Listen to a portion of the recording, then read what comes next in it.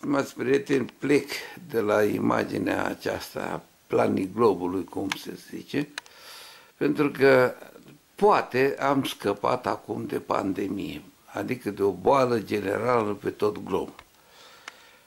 Și a lăsat urmele asupra tuturor țărilor, tuturor oamenilor, tuturor obiceiurilor. Prin urmare, o să avem o bucată de tras, în același timp însă nu știm dacă ne mai putem întoarce la vechile noastre preocupări și obiceiuri.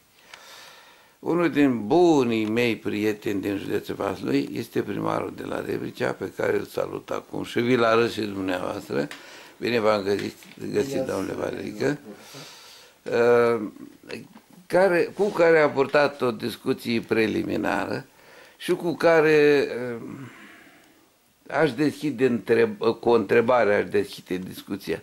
Domnule, aveți un teren de fotbal extraordinar și dotat și colorat și când... Și nu mai avem competiții sportive, da? nu mai aveți competiții. Când dați drumul la gălăgie de pe stadion? Deci, Acum să spun uh, ascultătorilor și telespectatorilor și cititorilor că te-am surprins, te-am fotografiat când alergai dintr-o parte a alta a terenului da, ca, să, ca da. să mergi pe margine, sigur că da. Prin urmare, un împătimit, un împătimit și de sport și de cultură, dar de fapt un împătimit pentru viața consătenilor săi din Rebricea. Valerică deci, Radu.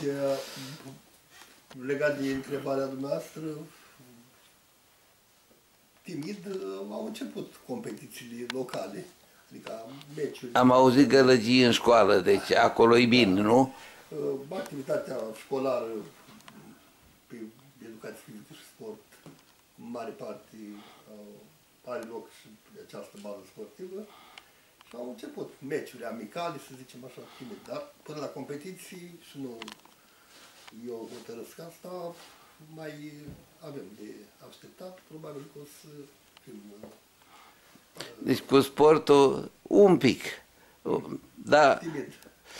Uh, ploile astea, v-am auzit într-o discuție cu vicele uh, și am să vă rog să-mi răspundeți la o întrebare și despre copiii acestuia, că am auzit că sunt foarte talentați. V-au rupt drumurile ploile astea? Nu, nu, n-am, n-am avut pagube produse de, de aceste ploi, pentru că cumva au avut o uh, frecvență uh, mai puțin uh, devastatoare față de alte zone ale țării. Au plouat, au plouat, au plouat mult, da. 60 de litri, măsurați în diferite puncte în, în comună, dar nu. Ați scăpat și de grindină? Am scăpat și de grindină până acum. E una peste alta, din punct de vedere al, al agriculturii, culturile arată... Arată foarte, sau destul de bine, dacă nu foarte bine, sigur. Acum își vine secerișul. Da. Ați semănat ceva greu ca să știu dacă vă duceți la... Orzul, orzul deja... E galben-galben. Da, în fază de ceară și urmează cam două săptămâni de zile să trecem la recoltat. La orz, nu știu, trei săptămâni uh, la, la grâu.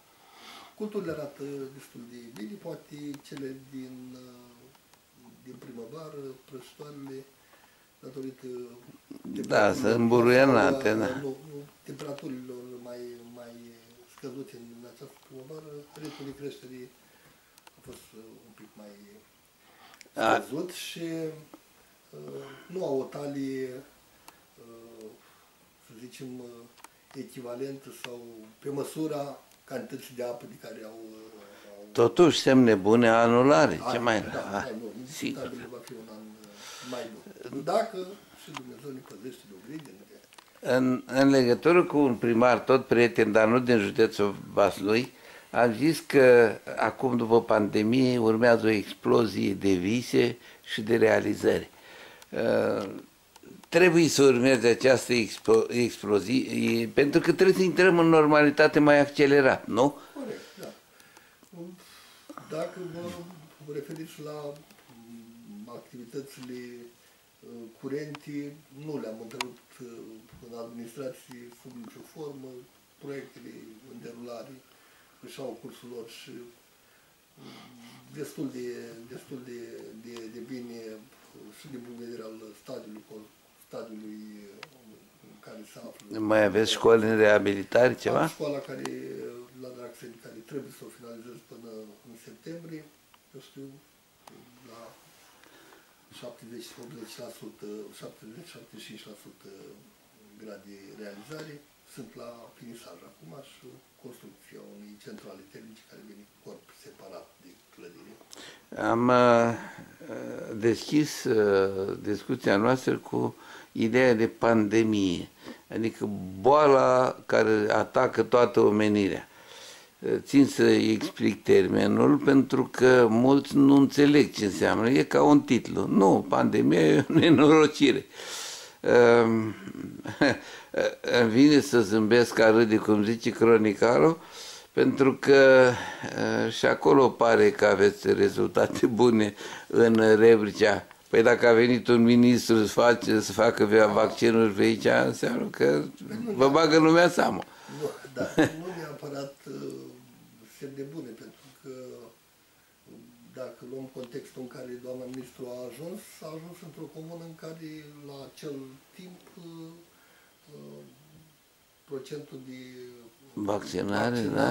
de vaccinare era undeva în jur de 5% la mie de locuitori. Acum la cât l-ați ridicat? Uh, 5, uh, am zis bine, 5%. Uh, nu știu dacă am ajuns la 10%, știu atât că la, pe raza comunei am uh, organizat trei uh, centre de vaccinare, în care unul uh, în data de 5 iunie, la care a participat și efectiv a vaccinat și doamna ministru. Și așteptăm rapelul, să organizăm rapelul pentru cei care s-au vaccinat cu Pfizer în, în data de 5.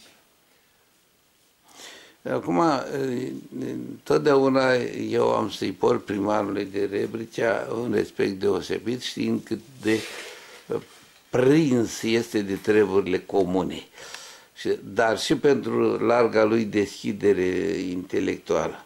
Dacă îl cunoașteți, o să vă întrebați cine Dar nu vă întrebați pentru că îl cunoașteți și noi ne cunoaștem bine. Numai că ceea ce vreau să întreb se leagă, ar putea să apară ca o laudă. Eu zic că e mai mult o constatare. Și de aici și întrebarea cu experiența de viață, cunoscând așa de bine populația comune și chiar a județului, că doar mergeți în tot felul de întâlniri. Dar ă, cum credeți că va evolua pandemia asta? Grea întrebare. Ă, vrem, nu vrem, vom intra într-o normalitate, pentru că și progresele ă, științei medicale își spun cuvântul zicem noi că prin vaccinare o să se rezolve cumva și această pandemie. Nu vom scapa de acest coronavirus pentru că vom coexista, vom da. coexista cumva cu, cu el. Uh, trebuie să, trebuie să, să uh, coexistăm pentru că e o adaptare și corpului, a, sigur, sigur, sigur. Da, a, la, la noile condiții. Vedeți și condițiile climaterice, să spun. Cel puțin anul ăsta, da. da. Oamenii din primărie, de câte ori am fost, că doar nu sunt din când în când pe aici, trec frecvent, au fost totdeauna la treabă, totdeauna au avut ce spune. I-am întrebat de ce și oamenii sunt deschiși. Cum considerați că s-a desfășurat activitatea? În această perioadă am, zicem noi, că ne organizându-ne, pentru că am acceptat uh, toate formele de, de, de, de protecție. Uh, protecție, da, și am acceptat și, și alternative la programul de, de lucru am, uh, am reușit și am, uh, și am trecut uh, cu bine achitările de sarcini de serviciu. S-au vaccinat toți din primărie? 70% din, din personalul, poate aproape de 70% este vaccinat. O parte au niște constrângeri medicale și chiar mai așteaptă, eu știu, un ok din partea medicului de, de familie sau a medicilor specialiști. Haideți să abordăm uh, ideea aceea de explozia de vise, speranțe și realizări până la urmă. Care credeți în cazul dumneavoastră că va fi? Păi, să Cum va fi la voi? Asta e întrebarea. Da, să plec de la, de la uh, speranță, nu? Da, bineînțeles. Să, să trecem cu bine prin, prin această pandemie. Cu toții, cum să zice, da. da. Și să realizăm uh, cât mai mult din sarcini, că pe toate, sigur, nu, nu reușim, nu vom reuși să le, să le realizăm, să realizăm cât mai mult din sarcinile uh, de serviciu, în limita bugetelor și a, a, a, a condițiilor pe care le avem create ca să desfășurăm, desfășurăm activitatea. Și dacă ajungem la, la bugete, deja uh,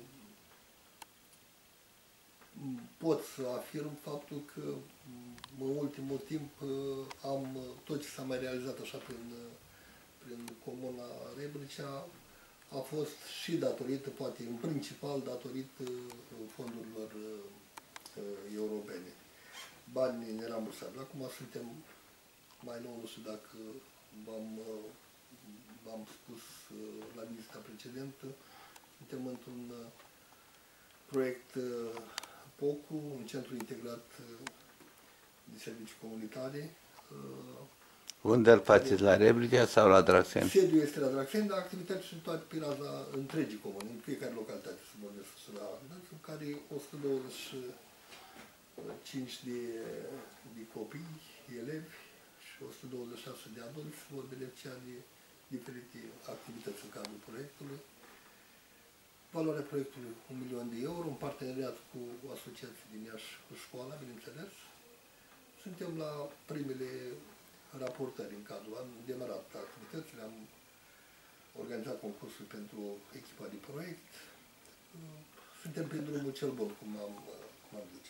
Și mai nou, aflând acum aproximativ două săptămâni de când a apărut uh, o oportunitate, un ghid în dezbatere publică la AFIR, încercăm o variantă de, de a mai atrage echivalentul a un milion de euro pentru nu pentru exact ce ne-am dorit noi, pentru că stăm rău la drumuri comunale și sătești. Dar dacă tot este o linie care poate fi accesată, sigur. bani, acoperim alte, alte drumuri. Drumul de exploatație agricolă.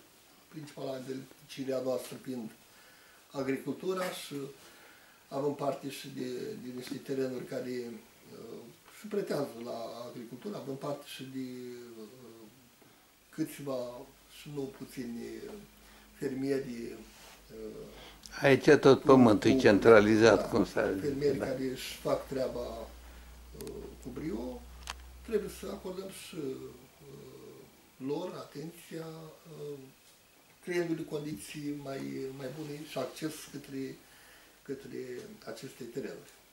Încerc o variantă cu prin Adi, Valea Rebricii, care vrem să o reactivăm cu Comuna Scânteia. În ultima instanță, dacă nu reușim, nu reușim prin uh, Adi, să încerc o variantă singur, dar mai greu pentru că eu am mai avut un, uh, un proiect pe care l-am finalizat tot pe drumul de exploatație agricolă și nu aș mai avea chiar rutele cele mai, care se punctează cel mai bine pe grila de punctaj. Da, bine că puteți aduce. Am zis că am să vă întreb de prima, viceprimar. De fapt, asta intră în cadrul încurajării fenomenului cultural și artistic local și mă bucur că viceprimarul dumneavoastră, doar întreagă, am vorbit adineauri cu el, are copii așa de realizat. Spuneți-mi dumneavoastră ce fac copiii ăștia.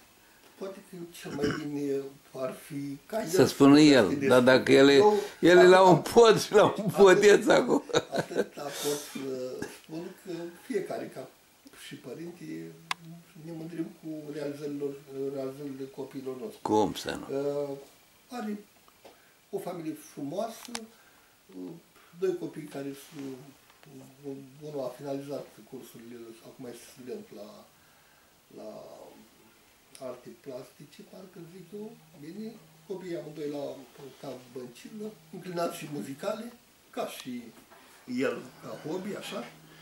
Copiii, uh, cel mare, studentul uh, olimpic și uh, acum colaborator cu multe uh, formații muzicale de top din, uh, din țară.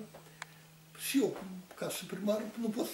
Dar cum să nu mă fiți mândresc bucuros? Cu, cu asemenea, cu asemenea copii. Cum uh, m-am mândrit și cu, cu olimpicul de acum 2 ani de la Draxeni, care, care au făcut o figură frumoasă la faza, faza națională. Și cum te mândrești și de copiii tăi și de nepoții Da, bineînțeles, sigur. Uh, Aș mai avea o întrebare, dar e prea grea și nu știu dacă merge. Totuși, Încercați. totuși. Dom'le, copilașii ăștia frumoși, harnici, talentați, la voi aveți numai ciclu până la clasa 8 nu? Uh, Cum termină însă liceul, cum o șterg în alte, pe alte tărâmuri? Și atunci uh, a- vorbim de ceea ce am zis de nu știu câte ori în editorialele mele, vorbim de uh, scurgerea materiei cenușii, emigrarea. Uh, Oare găsim o care să-i ținem? Marea problemă a întregului Popor român, e așa mare e? dramă din punctul meu de vedere, când ne pleacă toate valorile și că în fiecare așa, domeniu de activitate se observă uh, foarte puțini uh, tineri care ar, ar, uh, ar mai avea plecare și hai să zicem, poate folosesc niște ghilimele, curaj să rămână să înfrunte toate greutățile uh, inerente prin care, prin care le trecem.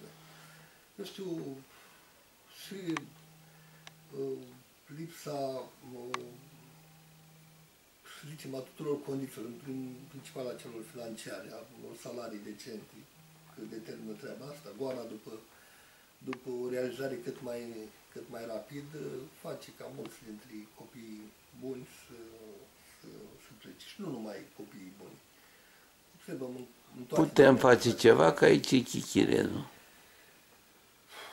Da, se poate face. Eu știu, o politică uh, de stat care să, un program uh, pe o perioadă mai lungă asumat de toți politicienii, de toate, de toate părțile cum ar veni și uh, să-l urmărim uh, pas cu pas, să folosesc și Da, da. termen, să-l, să-l realizăm, eu știu, în 10, 15, 20 de ani de zile să avem o revenire. Un asemenea proiect Vă dau sau un plan, da? singur exemplu. Da?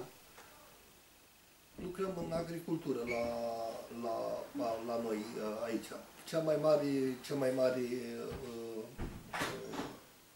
problemă pentru noi care mai facem o agricultură ar fi asigurarea unor uh, tractoriști, mecanicieni. Da, da, adică și învățământul să fie orientat Să vedem către partea câte- tehnică. Câte licei agricole au mai rămas în, în țara asta?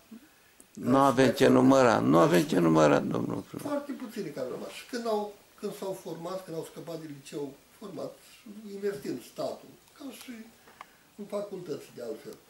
După ce a investit uh, statul român, pleacă și creează plus valoare altor state. Da? Sigur.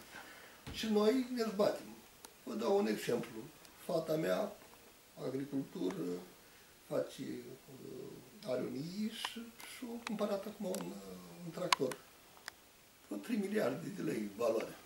Efectiv, ne chinuim, se chinuie cu un, cu un băiat care are ceva experiență, dar nu are pregătirea necesară. să Sigur. urce Pe, pe asemenea Asta dosare. înseamnă alte pagube, Și altea, alte... Sigur, sigur. Pagubele sigur. care vin încet, dar sigur. Da, da, din, din incompetență, sigur. Uh, revenind la, la întrebare, ne revenim, dar greu și nu mai punând toți umărul. În principal, eu știu, trebuie schimbat cumva ceva la nivel de sus, schimbat, eu înțeleg, democrație, alternanță la guvernare, stau 4, 8 ani la guvernare, dar nu când am, am pierdut. Să, să moară pe scaun, da. Când vin ceilalți, tot ce au făcut uh, în urmă a fost rău, nimic. De acum stai să vezi ce alte rău, uh, rele facem noi. Da, uh, o să continuăm discuția asta, mai ales că eu aș zice Rebricea ca și comună vasluiană este un fel de comună etalon. Revenim. Mai avem multe lucruri, domnule. Totdeauna vor mai fi multe lucruri de făcut.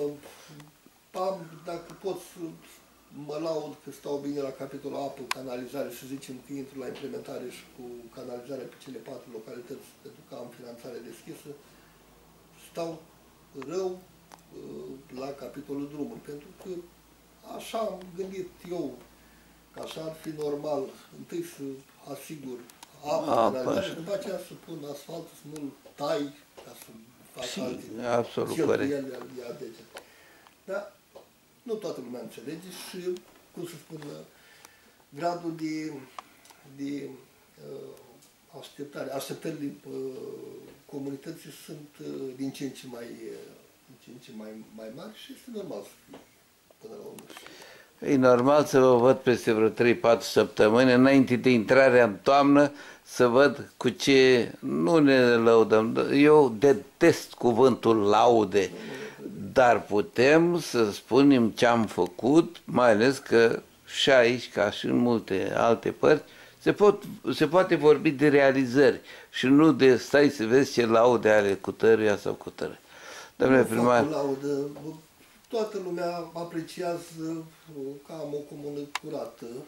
Din punctul ăsta de vedere facem uh, efortul și vicile își face cu prisosință datoria uh, cu ajutorul social, acei mulți uniți da. la ajutorul social. Dar îi punem la, îi punem la treabă și cu cheltuieli uh, mici încercăm să, să, să menținem un climat uh, bun. Acum am procurat, uh, fiindcă am ajuns la subiectul ăsta, am procurat uh, uh, 800 de cubele și încercăm să trecem, chiar dacă contractul nu prevede treaba asta de preluarea deșeului, încercăm să trecem la colectare din, uh, din poartă în poartă. Încercăm să convingem și ADIV-ul și Consiliul Județean și mai ales pe domnul Florea, reprezentantul firmei care, care preia deșeurile de aici, de pe raza comunei, că e absolut necesar să facă un pas în față. Nu, nu sunt suficiente, chiar dacă am uh, multe uh,